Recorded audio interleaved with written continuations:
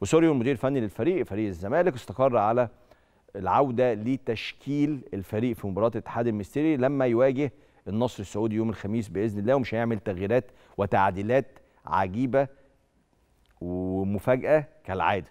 فهيلعب بمين بقى مباراة النصر؟ هيلعب في حراسة المرمى محمد صبحي وهيدافع بحمزة المسلوسي وحسام عبد المجيد ومحمد عبد الغني. وفي النص هيكون في موجود أحمد فتوح ونبيل عماد دونجا وزيزو مع عمر جابر. وشيكابالا مع سيف الدين الجزيري وابراهيم نضاي. وإن كنت أنا كريم مختلف مع فكرة شيكابالا. بصراحة هتقول لي لأ كريم إيه؟ أوعى. أنت هتهاجم شيكابالا؟ لأ مش بهاجم شيكابالا. شيكابالا ده من أحرف اللعيبة اللي جت في تاريخ مصر مفيش خلاف. حط دي على جنب. لعيب جامد جدا طبعا. اسم كبير في تاريخ الزمالك مفيش خلاف. إحنا بنتكلم فنيا.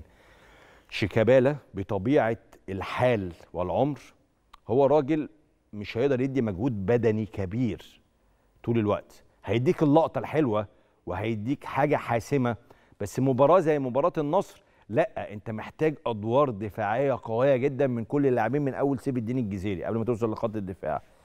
شيكابالا اللعيب المفروض يعمل أدوار دفاعية ويعمل تحولات هجومية فيها سرعة و و وكلام من ده. فشيكابالا يبدأ هلك على شيكابالا وعلى الفريق هيأثر على الفريق وهيأثر على اللاعب.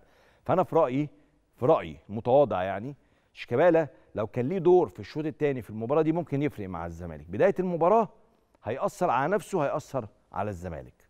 ده رأيي وأكيد اسوريو يعرف عني